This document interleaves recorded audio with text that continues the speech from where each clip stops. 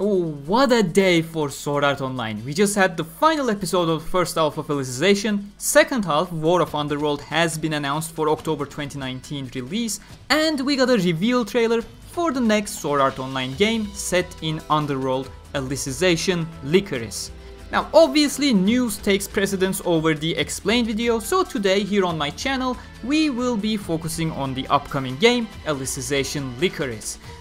I'll first share the little information we have and then move on to trailer breakdown because we got major reveals in the trailer but spoiler warning for Alicization anime if you haven't watched episode 24 yet. First off, if you want to watch the trailer, you can click the icon on the top right. I'll use short clips and screenshots in this video as well as slowed down footage because Bandai Namco is a little too aggressive with their claims and well I still couldn't get myself to actually work with them. You know I'm trying this every year, hopefully eventually they will recognize me. But yeah, according to Dengeki, Alicization Lycoris will be adapting the contents of the main storyline and this information was reinforced by the statement made by Bandai Namco US brand manager who said and I quote for the first time in a Sword Art Online video game, players will be able to faithfully follow the events of the anime series. We're also playing just as Kirito like the Hollow game, so if you're a fan of the original character, you are better off waiting for Fatal Bullet 2 or something. Alicization is a very personal story for Kirito, Eugeo and Alice, and it just would be wrong from a narrative standpoint to do anything else. Though I'm kinda disappointed if Kirito really is the only playable character and if we can't play as, you know, Eugeo, Alice and the others, I'm just hoping that this is just lack of available information for the western Bandai Namco divisions who kinda receive lacking information from their Japanese colleagues quite often. But this piece of information may lead you to believe that this is not part of the Gameverse canon, however we got more to talk about during the trailer breakdown in a bit because this statement may not be entirely true and Alicization Lycoris may indeed be taking place in the SAO Gameverse following the events of Fatal Bullet. But before we get there, Dengeki confirms that the game will adapt all the way from Volume 9 Alicization Beginning to Volume 18 Alicization Lasting, so it will include content that has not yet been adapted by the anime. This is a huge lead towards the release window of the game, considering it's not very likely that huge corporations like Kadokawa and Sony will let their main project that is the anime be spoiled with an early game release, so chances are Alicization Lycoris will be coming out after the Alicization anime concludes. And to give you a reference, War of Underworld begins in October 2019 and will most certainly conclude sometime in spring 2020. But that also means the trailer only showcases halfway through the story, which is a good time to jump into the trailer for an extensive breakdown. We start with the contents of episode 23, however we already get the first sign that the game is not really following the main canon one to one.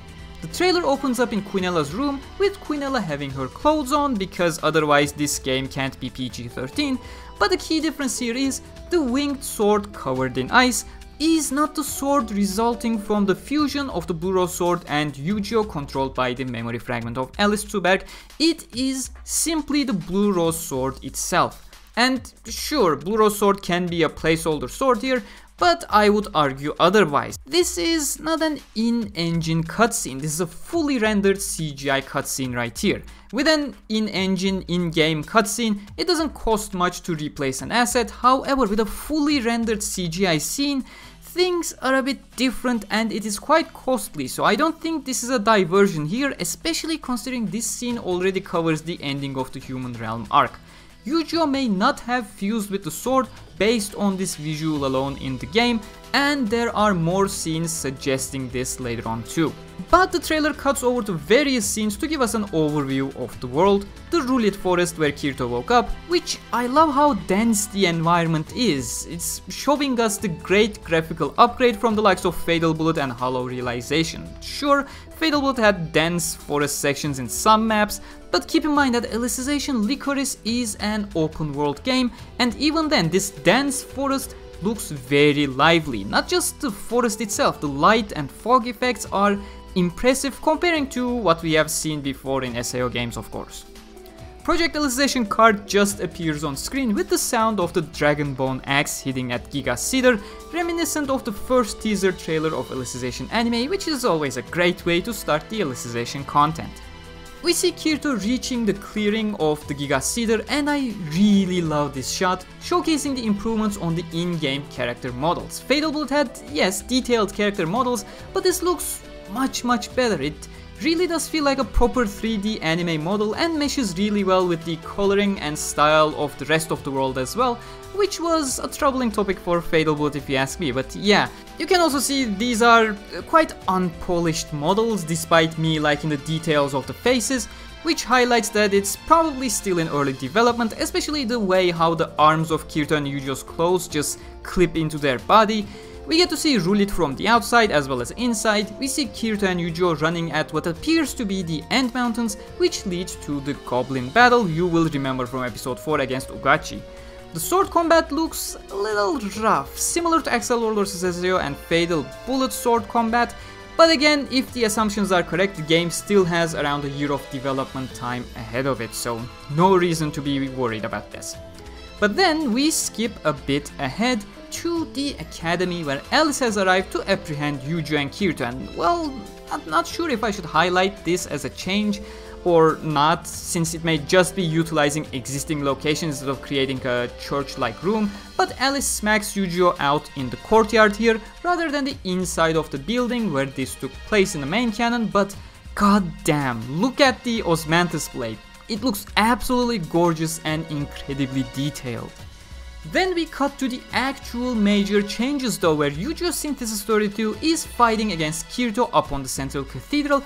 However, unlike the events of the main canon, Kirito seems to have lost the fight and Alice is compelled to intervene to save Kirito. So again, more signs that we are somewhat splitting from the main canon here. And last but not least, we return to the pre-rendered CGI scene and rotate around Quinella with an incredibly detailed silvery eternity and unlike the ending of Alicization Uniting, Kirito is not holding the red rose sword here, he is holding a non-broken blue rose sword in his left hand, which is a huge sign that once again, Eugeo may not have fused with the Blue Rose sword and thus may not have ended up getting cut in half, hence why the Blue Rose sword is fully intact and still blue. This has huge implications since it would mean Alicization Lycoris will not be killing off Eugeo, significantly changing the events of Alicization and let's be real, not killing off fan favorite characters is a habit of the gameverse. But yeah, all in all, especially that final key detail in the pre-rendered cutscene is a major difference that I certainly wouldn't categorize as quote unquote following the main canon.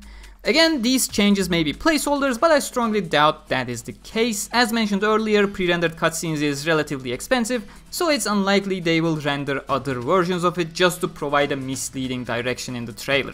Also, historically speaking, Sword Art Online games never showcased a scene in their trailers that was different from the final product scene, so chances are, yes, despite what is being told by Bandai Namco, that is not an exact adaptation of Alicization and chances are it may even be tying in with the Gameverse as was hinted by Fatal Bullet DLC 3's secret subtilizer ending. But that's all I got for you today. Hope you enjoyed this video. If you did, make sure to like, comment and subscribe for more on Sword Art Online. Thank you very much for watching and as usual a huge thanks to my patrons and channel members and a big welcome to the newest channel member Ricardo Henrique Souza. I'll see you soon with the Alicization episode 24 explained. Until then, stay cool.